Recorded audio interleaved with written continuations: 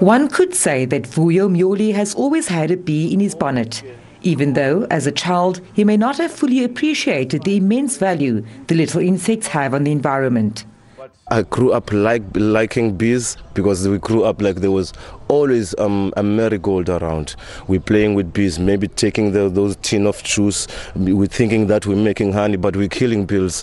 We're killing bees. Now it's time for me to pay back. We killed a lot of bees, and even if we can live, we can't live without bees for four, if four years without bees, we, we're all gonna die in the world. Bees are among the hardest working creatures on Earth. As pollinators, they play a crucial role in biodiversity, food security, and human livelihoods.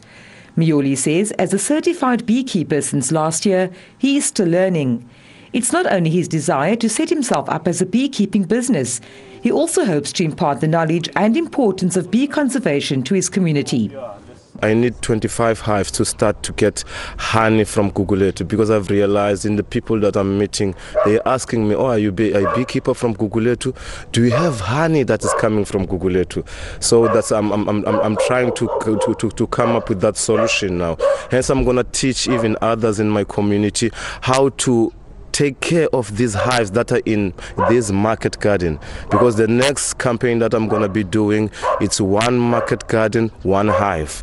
In that sense I'm giving a free pollination season which is what is expensive. So that garden must have a best produce. You see now we're tackling two things. We're tackling the food the, the, the, the, the actual food and the honey side of the thing Myoli is appealing for sponsorships to acquire the hives necessary to fulfill his dream of making Gugulethu the buzzword in the local honey business.